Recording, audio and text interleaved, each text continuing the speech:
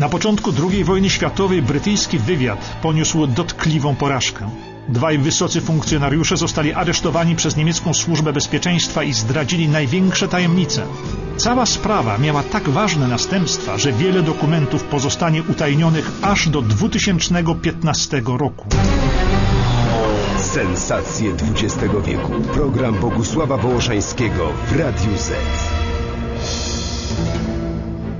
Policjant na posterunku w holenderskim granicznym miasteczku Oorschot wskazał dwóm niemieckim podróżnym niewielki stolik. Proszę, aby panowie położyli wszystkie rzeczy na tym stole. Gdy opróżniali kieszenie, celnik starannie przeglądał ich walizeczki, nie znajdując jednak nic podejrzanego. Sprawdzanie jeszcze trwało, gdy policjant wyszedł do pokoju obok. Tam stał mężczyzna, obserwujący przez szparę w drzwiach scenę przeszukania. Był to porucznik Dirk Klopp z holenderskiego wywiadu. Policjant zwrócił się do niego. Są czyści. Mają dokumenty na nazwisko Schemmel z korpusu transportowego i Hausmann, kapitan z oddziału medycznego. Nie mają broni, radiostacji ani aparatury podsłuchowej. Są czyści. A w ogóle chyba to nie są Niemcy, tylko Austriacy. Skąd takie wrażenie? Mówią z takim śpiewnym austriackim akcentem. Mieszkałem przez wiele lat w Niemczech. Przetrzymajcie ich parę minut i wypuśćcie. Gdzie jest telefon? W dyżurce. Porucznik Klopp nie znalazł się przypadkiem na granicznym przejściu. Został przydzielony do tej operacji, gdy brytyjski wywiad zgłosił się do holenderskiego z prośbą o pomoc w sprawdzeniu niemieckich wysłanników przybywających na tajne negocjacje i zapewnieniu bezpieczeństwa brytyjskim agentom.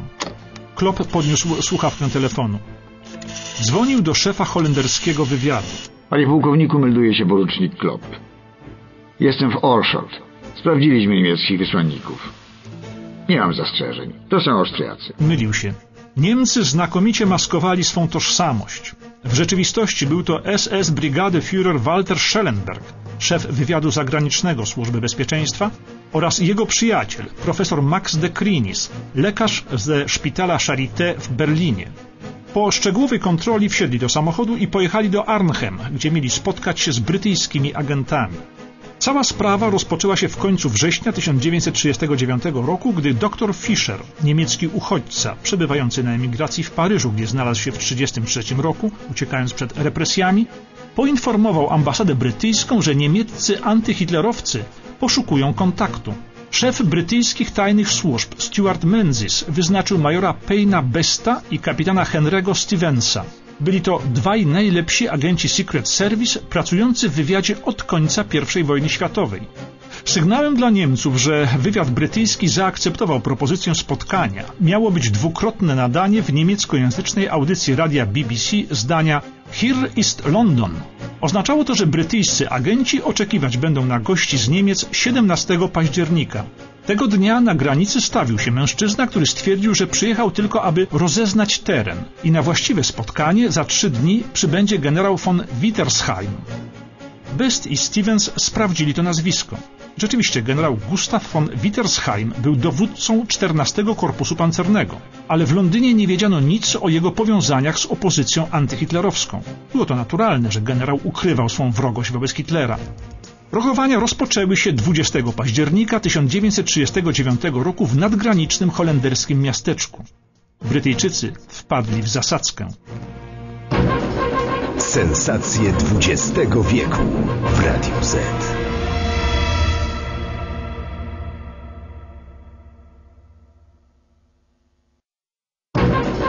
Sensacje XX wieku w Radiu Z. 20 października w nadgranicznym holenderskim miasteczku Dingsperlo dwaj brytyjscy agenci, major Best i kapitan Stevens, na próżno oczekiwali na przybycie generała von Wittersheima. Zamiast niego stawili się dwaj mężczyźni, których nazwiska nic Brytyjczykom nie mówiły. Major Best, doświadczony pracownik wywiadu, wiedział, że w tym zawodzie nie można nikomu ufać. Podejrzany wydawało mu się, że Niemcy, którzy tak zabiegali o rozpoczęcie negocjacji, nagle zwlekają z przysłaniem ważnego przedstawiciela. Dr Fischer zagwarantował, że słyszał o nich jako przeciwnikach Hitlera. Brytyjczycy wciąż mu wierzyli i to wystarczyło, aby podjęli rokowania. Rozmawiano o obaleniu Hitlera i przejęciu władzy w Niemczech przez wojsko. Major Best przedstawił brytyjskie stanowisko.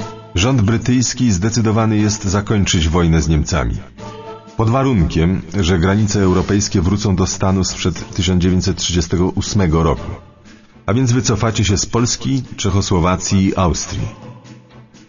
A jakie propozycje przygotowała strona niemiecka? Armia niemiecka gotowa jest sformować demokratyczny rząd, w skład którego wchodziłby co prawda Adolf Hitler, ale jako marionetka. Jest to konieczne, gdyż tylko w ten sposób zdołamy zyskać poparcie społeczeństwa. Właściwa władza będzie w rękach wojska. W tej chwili podstawowym problemem dla nas jest uzyskanie zapewnienia, że Wielka Brytania nie zaatakuje nas, gdy będziemy borykali się z wewnętrznymi problemami, jakie oczywiście pojawią się w dniu zmiany władzy. Czy możecie udzielić takich gwarancji? Nie mam żadnych instrukcji w tej dziedzinie. Oczywiście skonsultuję się w tej sprawie i na następnym spotkaniu dam odpowiedź. Proponuję, żeby odbyło się w Hadze i żeby był tam generał Wittersheim. Dla nas dogodniejsze są spotkania na granicy. Pan rozumie. Względy bezpieczeństwa. Ta rozmowa powinna zaalarmować Brytyjczyków. Projekt pozostawienia Hitlera na czele nowego rządu utworzonego przez spiskowców mógł być tworem całkowitej naiwności lub nazistów, którzy bali się nawet myśli, że ich Führer może zostać odsunięty od władzy. Bez wątpienia Best i Stevens byli zbyt wytrawnymi agentami, aby nie zwrócić na to uwagi. Poza tym zaczynali podejrzewać, że dwaj Niemcy nie są oficerami Wehrmachtu, choć starali się zachowywać jak najbardziej poprawnie. Best zwrócił się do swojego kolegi, gdy pozostali sami. Odnoszę nieodparte wrażenie, że oni są nazistami albo oficerami SS. Zręcznie maskują swój charakter, ale i tak wychodzi to z nich przy każdym słowie. Chcą obalić Hitlera i pozostawić go w rządzie. To bzdura. Taką opinię przekazał do Londynu. Jednakże premier Neville Chamberlain nie miał zamiaru przerywać rokowań z niemiecką opozycją. Brytyjski polityk zagubiony w tym, co stało się w Europie we wrześniu 1939 roku, zdając sobie sprawę ze słabości brytyjskich sił zbrojnych, naiwnie wierzył, że doprowadzenie do zamachu stanu w Niemczech i usunięcie Hitlera jest możliwe. Dlatego Best i Stevens brnęli w grę, która miała zakończyć się dla nich tragicznie. Polecono im kontynuować tajne rokowania. Starali się zmniejszyć niebezpieczeństwo i sprawdzać niemieckich emisariuszy jak najdokładniej. Dlatego przed spotkaniem w holenderskim miasteczku na ich prośbę policja przeszukała bagaże i kieszenie Niemców, którzy przybyli na kolejną rundę rokowań w końcu października 1939 roku. Negocjacje trwały przez cały wieczór. Wydawało się, że Brytyjczycy powoli nabierają zaufania do niemieckich wysłanników. Już następnego dnia kapitan Stevens dał Niemcom radiostację, za pomocą której mogli porozumiewać się z placówką wywiadu w Londynie, szyfry oraz nadał kryptonim ON4, jakim mieli sygnować swoje wiadomości. Pierwszy szyfrogram od Niemców nadszedł 4 listopada 1939 roku. Informował, że generał, co miało oznaczać generała Gustawa von Wittersheima lub Ludwika Becka, gotów jest do odbycia podróży do Londynu 9 listopada. Pozostały do ustalenia sprawy zorganizowania przerzutu, zapewnienia bezpieczeństwa i tajemnicy całej wyprawie. Ostatecznie ustalono, że 9 listopada generał przybędzie do Cafe Bachus w miasteczku Venlo na niemiecko-holenderskiej granicy. Stamtąd miał pojechać na lotnisko, aby samolotem udać się do Londynu. Nie sposób ustalić, dlaczego Best i Stevens popełnili kardynalny błąd, zgadzając się na spotkanie na granicy niemiecko-holenderskiej. Było to dla nich najbardziej niebezpieczne miejsce. W tym czasie w Monachium doszło do wydarzenia, które niespodziewanie zmieniło bieg akcji. Sensacje XX wieku w Radiu Z.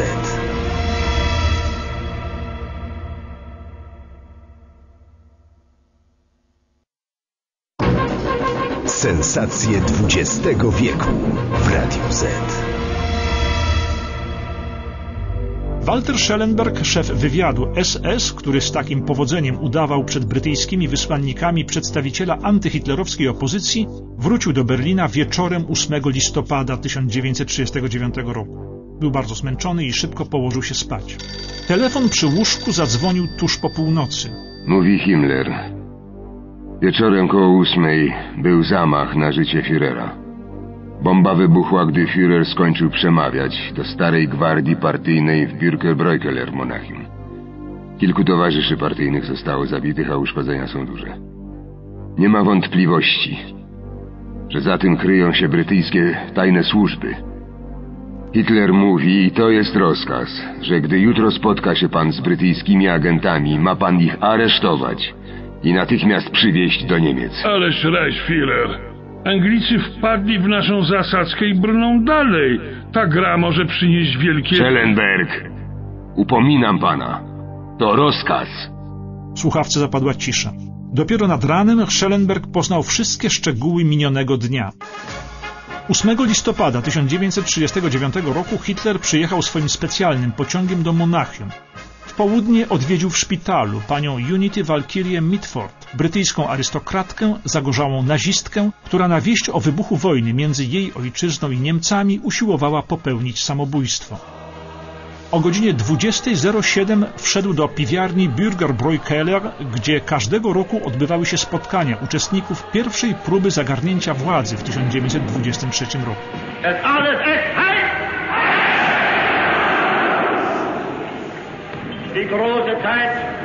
O godzinie 20.12, wcześniej niż zwykle, Hitler rozpoczął przemówienie, które trwało do 21.08. O 21.22 wyszedł z piwiarni.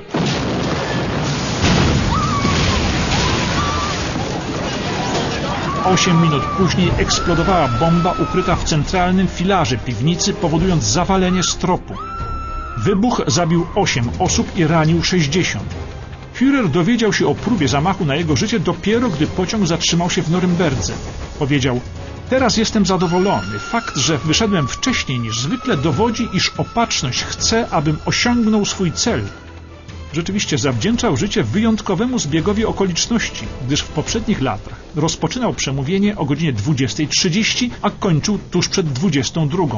Jednakże tego wieczoru, ze względu na mgłę, musiał zrezygnować z podróży lotniczej z Monachium do Berlina i jechać tam pociągiem. Nawet specjalny pociąg, jakim podróżował Hitler, musiał stosować się do rozkładu jazdy, a ten przewidywał odjazd z Monachium o 21.31. Dlatego Hitler opuścił piwiarnię ponad pół godziny wcześniej. Jeszcze tej samej nocy na granicy ze Szwajcarią niemiecka straż zatrzymała człowieka, u którego znaleziono fotografię piwiarni z kolumną oznaczoną krzyżykiem. Georg Elzer, stolarz, przyznał się, że chciał zgładzić Hitlera. Do dzisiaj jednak nie ma pewności, czy działał sam, czy też kierowało nim gestapo, realizując plan Hitlera. Przez wiele lat podejrzewano bowiem, że zamach został przygotowany przez niemieckie tajne służby jako pretekst do zaatakowania Zachodu.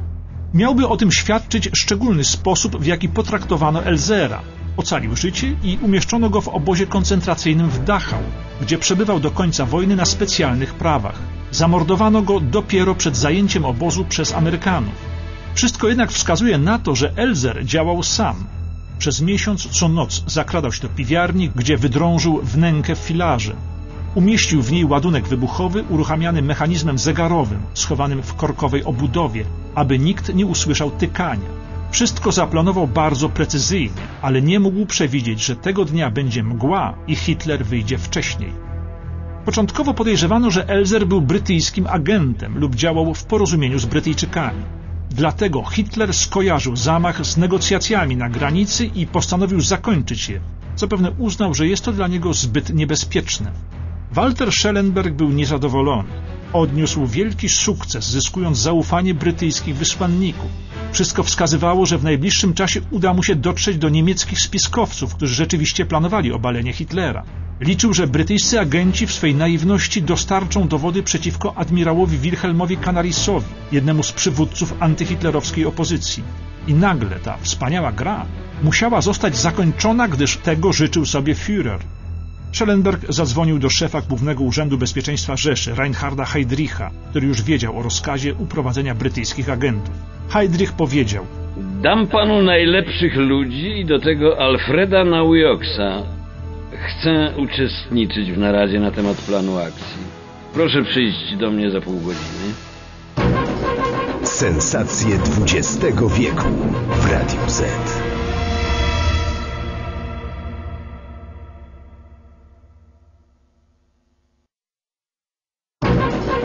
Sensacje XX wieku w Radiu Z.